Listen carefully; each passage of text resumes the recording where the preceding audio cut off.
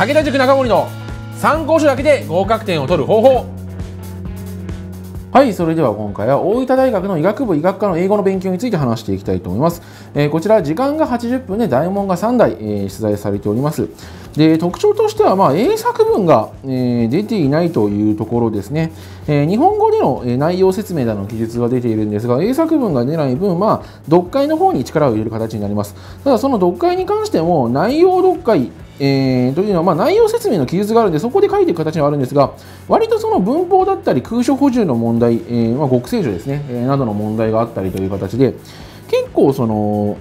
まあ、内容さえ読めて、あとはあの文法などの基礎的な知識がついていれば割と解けるような問題構成となっております。ただ、その長文のテーマが医療系、えー、というところがあってですね、なので医療系の単語なり、えー、長文に慣れておく必要があります。なので、えー、まあ、医師学系入試によく出る英単語などの、えー、まあ、医学部系、まあ、の、えー、テーマ、長文を扱っている、まあ、あの文章の単語を覚えることとその文章を読んでおいて、えー、テーマに慣れておくこと、こちらをしっかりやっていくように心がけてください。で、英語の文章の難易度という意味では、その医療系の対策さええー、できればという前提にはなりますが、まあ、マーチレベルの長文が読めていれば十分対応できる、えー、難易度だと思います。ただ、ちょっと長いので、まあ、過去問で、えー、しっかり慣れていった方が、えー、いいかと思います。で、出てきている設問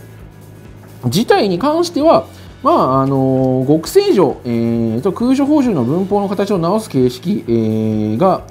品質なので、まあ、空所補助に関しては過去問のやり込み、えー、にはなってくると思いますが、正常問題が、まあ、ちょっと苦手だなという場合には、まあ、英語正常の聖1600などを使って、まあ、正常に特化した対策をやっておくとえいいかと思います。で、内容説明の部分があるので、国公立標準問題集キャンパスえを使ってですね、まあ、記述練習えしておくといいでしょう。で、記述のえ各練習そのもの、日本語でもちょっとえ説明するのが苦手だなっていう場合には、現代文読解力の開発講座などをえフォローで使っておくといいかと思います。以上が英語の勉強となります。